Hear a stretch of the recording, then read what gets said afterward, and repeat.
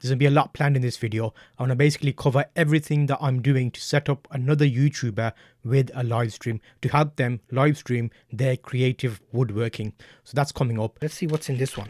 It's not a really fancy new Asus disinfectant gaming RGB 4 meter black dragon, blue dragon. Come on, you disinfectant can do it. There you go. What, what's the uh, mouse mouse name? A red one. There's, there's really fancy. Got a, a, red one. Computer mouse site now for gamers. Red one. No. Magic Dragon. Come on, help me out. Whoa, whoa, whoa. Before we carry on with the video, you saw a few fancy quick cuts there. That's coming up. I need to address a comment. On my other channel, I mentioned I had to get an iPhone and I called it pink. Apparently, it's uh, rose gold. So just to clarify, I've got a, a deep rose gold uh, fiber, microfiber cloth to clean my computer with.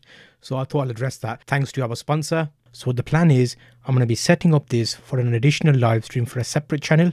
So I'm going to actually show you a proper walkthrough. It's about time we did a proper step by step. So let me get straight into this. So we want to see what the limitations are and what could be better. So let's set this up. I'll show you some examples throughout this video of what it looks like and what the channel is. Um, but let's have a look at this first. So computer that's capable. So right now this is a Sony computer. It's quite a powerful system, but it is old, so I don't think it's going to cope at 1080p. So let me show you quickly this laptop. So it's a, a widescreen, it's a Sony, it's got NVIDIA graphics, which means it's got a graphics card, which we need for encoding our video because we're going to be using OBS. I've upgraded it to Windows 10 and I've put in a SSD hard drive as well as more RAM. So I quickly discovered that the laptop was just not cutting it. It's uh, 720p. We tried live streaming at and the processor was not coping. Um, everything was lagging. The video was not synced with the audio. So what I did is I quickly jumped onto eBay and disinfectant had a budget that we could use so I was able to pick up another machine. It's not the best machine not the newest. However if you look at the spec here it's an i7 4th gen. It's got 8 gigabytes of RAM. We've got a dedicated graphics card which will actually help with the encoding process. It looks like a very nice machine and the price is very reasonable under 200 pounds. When could you get a good laptop for that kind of price well you can't. So this is a desktop that we're going to use. We're going to get it uh, set up. So you can see here the spec and the information by the supplier and ebay was excellent. There's a lot of good deals out there if you look for them this is going to be a powerful machine which will have uh, enough cores to be able to multitask and the pictures looked like there was a better power supply in there as well which means we can upgrade the graphics card if we wanted to at a later point. So that's a quick look at the desktop machine that we brought. Again we are basically setting up a live streaming computer that's the aim of the game. This keyboard that I use a lot in my live stream where you can switch between different scenes. And then let me update my keyboard here. He says, yeah. So now I'll go over to my desk and show you what else you can do. So let's have a look at that. Okay, here we go, back to my desk remotely. Obviously, when they're woodworking, we don't want them messing about with the keyboard and mouse. You can have this in their pocket and use it as a remote control. What you will need is a chunk of additional cables to make all of this work. For cables, we are going to need a HDMI capture card, and guess what? You can get a HDMI USB 3 capture card now for under £6. So I'm going to test that out, see what that does. Uh, also, we're going to get our trusted one that I always use, which is this one here, the unbranded one. It's gone down to £7. So I bought one of those as well. In addition to that, you're going to need the cables like we mentioned. So the cable here is going to be uh, HDMI, two options, and the HDMI converter. And what I'm also going to do is get some really long micro USB cables for those action cameras because we want to position them in interesting places. Okay, here we go. So now my computer's all the way over there. I plugged in the USB cable. What that allows me to do is I've still got space. I could stick a camera right in the top corner via USB. You know I like my action cameras, but you know what? It's okay. HDMI camcorder to be able to get those uh, zoomed in shots. We saw one here for 30 pounds, which was a full kit, and we checked if it was a clean HDMI, and it was not a clean HDMI. So we have to discover another one of this. How you do that is basically go onto Google, search the name of the model, and see if it's a clean HDMI, or you could even message the seller and say, Can you test it for me? So that's a few little tips there. So uh, the camera can be put in a waterproof case, which I have just over here such as that.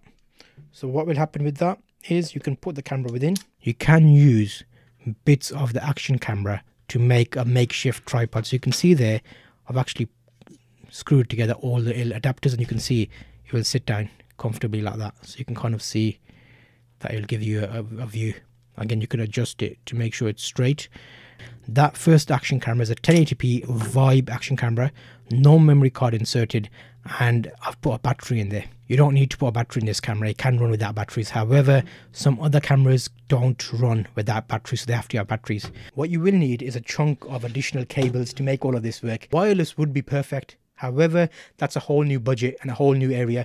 The area we're going to be using this live streaming setup in is going to be designed for woodworking. So they've already got braces around, which I can use to kind of hide the cable as it were hide the cable so that shows you that these types of cables can increase the distance again I have two of these that I ordered because we can have two camera angles. Let's recap.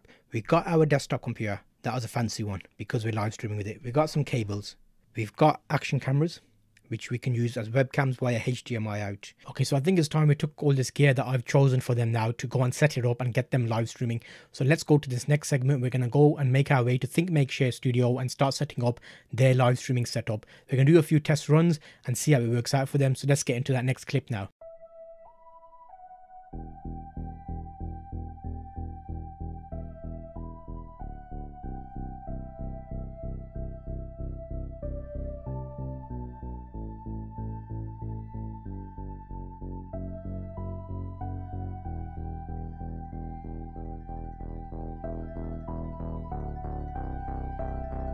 Okay, so as you can see, I've made it here to the Think Make Share Studios. I've got the setup and put it down now. So we've got the cable, power cable for the computer. I got an extra mouse to make it a bit easier to click around. Um, we've got a U USB controller. There's a bit of an issue now. The Ethernet cable for the internet is very short, so I've got a bit of kit here that allows me to extend it and have a lead go all the way to the back of the desktop. That's the first setup for the action camera with the cable and the cage long enough to kind of put where we want to put and move around if need be. Uh, we've got a battery, extra battery there because one of the cameras needs battery to be powered. Here's a second one. Again, it comes with the cage and the waterproof case and another cable. Different colors so we know which camera is which. So basically the desktop needs setting up. This is a desktop and it's a dusty environment. So Think Make Share you're going to make their own enclosure. I'll link you to the video of that. So now let's get started. So the desktop is here. We're going to spin it around and start plugging everything in. So if you're new to computers, this might be helpful for you to understand. So the power lead goes in and we've got a separate socket um, power for the, the computer itself, uh, power surge protected, and we're going to plug that in and give that power. So that's got the power it needs. Addition to that, we need the internet cable. Remember, if we're live streaming, we want the best connectivity. And luckily, we already had some ethernet cables in this uh, segment of the studio. So we plug that into the computer and then the next bit goes into this uh, extension coupler, I think they call it. Um, and then that allows me to plug in the existing cable and that is basically extended it. So this can be enclosed and fully protected uh, from the, all the dust basically. A cheapo mouse just to get a bit, bit easier to click because the mouse pad on the USB isn't as intuitive if you haven't used it that much. So the first action camera cable goes in the back, USB cable, and the second one as well. I'm going to do a rough layout right here and then we can clean the cables up once we've set everything down. An old monitor display uh, TV basically. We're going to plug it in via HDMI just to test everything and make sure it looks okay and then we'll move on. So the power again for this will go directly into the desktop computer in terms of the display and we're going to plug that in there now. We're using a couple of converters to do this and let's turn this into the studio. First we've got our little uh, additions of screws to make sure these stay put. I've added the mount there and slid it straight in. So the first action camera will be under the Think Make Share or next to the Think Make Share uh, plaque. And this would be the top down shot for the main setting up of any work. So we're going to stick a camera into that and make sure it's in the right position and then drop in the power cable. So the power cable here you'll see is longest. This camera can be removed from this and put into another place if any jigsaw work needs to be happening or anything like that. And here's a second cable. I'm going to route this over the light just for now so it doesn't dangle. And then we're going to put the secondary camera onto this beam here. And again, we're doing a quick little screw in there to make sure it doesn't drop. And this dry run is to make sure all the cameras are working. I'm going to set these up at 1080p or 720p. We haven't decided yet, but we'll see how what works best for the uh, in, internet connection here. So you can see the red power cable goes around there. A bit messy at the moment, but we can clean that up and the gold cable goes over the top through the beam and onto another camera. and that is all set. So what happens next? Well, you can watch me. I'm going to turn the PC on and when the PC is turned on, you'll notice we need to go into OBS and also while we're opening and powering on the computer each time with these action cameras you have to physically select PC cam. So when the camera's turned on, you'll see in the back of the camera is an option. We go down with the menu and do PC camera and press OK. So that has made that a camera now. So I'll put that back in its mount and do the same thing with the secondary one. That's the thing with these action cameras. You have to physically turn them onto action cameras. Not too bad. Quick little button click and it's sorted out. And then we'll go over to our desktop again. We click on the plus icon and if you're familiar with OBS, uh, video capture device, add in a name for it, use my keyboard. I'll call it A and B to keep it simple. Capital A in the name for the first angle and because we know it's powered and it's ready there it comes up straight away. Universal uvc one camera is called. So we'll just do a few little adjusting here. I like to put a few things in. I'll show you what i normally do. So i'm selecting the camera. Device default is resolution but i normally do my custom to make sure it sticks at the full res and then we can extend that out. The highest frames frame rates per second video format mjpeg i normally select. Color space 709 and color range full and then that's normally everything and then do okay and you can notice this camera is uh, the canvas is set as 1080p so i can pull that down. So that's the first camera sorted and set up in obs nice and easy. We're going to add in the second camera now. So the you can see my hands there. I've gone around just to give you an example view. Uh, i'm recording this on my phone so i can easily edit it up. I might give you an obs recording if i have to. And then add in the second camera in the same scene add and video capture device create a new one and we're going to call it b and do okay and we're going to select the camera from the drop down and activate it and there you go. Beautiful. So now i'll put that okay just to kind of get you the view. That's a top down view. A lot of table saw cutting happens so you wanted a top down view so you can show the table when he cuts big pieces of wood or whatever he's looking at working on. So there you can adjust the camera easily as it is uh, on the mounts. And yeah that seems okay. Let me give you a quick view of these with my camera. So that's in the corner. Remember the desktop will be under the desk in an enclosed space. That's the first camera on the top and then the second camera on the left. I can even put a third camera in. We're working on a HDMI capture card and another camcorder so we can actually zoom in onto intricate pieces of work. So there you can flip between them. And I set up hotkeys on this. Hotkeys allow you to set up shortcuts on your keyboard to make it basically wire, wireless. So this remote you can walk around with and keep with him. F1 brings it to the first camera, F2 brings it to the second camera. So wherever he is, he can easily adjust it just by clicking that little button there and keep that like a remote control, which acts as a wireless mini ATM to transfer between the scenes. We want to add an extra one, so we go add. Let's call this one escape to hold screen. So when you press escape, it would be a hold screen. Let's bring that right to the top. And then to set that, we basically go to the settings button over here. And you'll get this window come up. You want to use hotkeys. And then you want to look for the titles that you just created. So scroll down. You'll see there my F1 switch to F1 scene is set to the F1 key. F2 is F2. F3 needs to be F3. And because that is also set up on my OBS, the OBS screen switched. And then you can go escape will be the hold screen. So let me just do the escape. See this escape to hold screen. So I'll press escape and that is set. So now we can do Okay. Basically wire, wireless.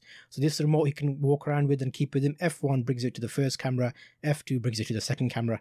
So wherever he is, he can easily adjust it just by clicking that little button there and keep that like a remote control. Okay, so that's a little bit set up now. We got to get ready for the streaming side of it. We're doing a broadband speed test. Make sure you start off with this because you can set up your settings for the live stream based on how much speed you're getting. We're getting excellent speed here right now, about 20 megabytes upload to about 200 download. So we're going to do a test stream and ramp it up basically. So I'm doing it uh, 6,000 kilobits a second for live streaming and the same amount for recording. What that allows them to do is live stream and record a file to the hard drive at the same time if they want to edit it later on. So I've opened up the resource manager on the desktop. I'm basically live streaming a test stream and checking what the GPU and CPU is. You can see there when I'm recording and live streaming, it's using about 70 80% of the GPU and about 10% of the CPU. So I slowly worked my way around to find the best balance for this machine so we could do a multiple uh, things at the same time without causing any problems. So this is basically the testing element of this process. We've got a little video playing on screen to live stream and now we're getting to a better balance where we're actually getting the uh, graphics card and the CPU in harmony, which still gives us headroom to do additional tasks on the computer if they're encoding a video, had GIMP open or Photoshop or something. So it's basically going through the output screen here and changing the kilobits a second. The higher the number, the more detailed the video will be for the stream and the, the size of the file. So that was a nice little sweet setup for you and we are good to go. We're going to do a couple of test shots um, and streams and test it out. But you can see here, I'm showing the keyboard in camera one and then I'll show you on camera 2 just so you can see exactly what it looks like. I've recorded this on my mobile phone quickly just to give you an idea of a full setup and we'll do a few demo shots at the end of actual woodwork going on so you can see what you can achieve with this. Hoping you found that useful. Make sure you check out the cards to look at more videos about OBS and how you can use it to live stream. And also check Think Make Share channel here where you can hopefully see more live streaming videos coming in future. If you're interested in woodwork and ideas in general, it's a good place to check out.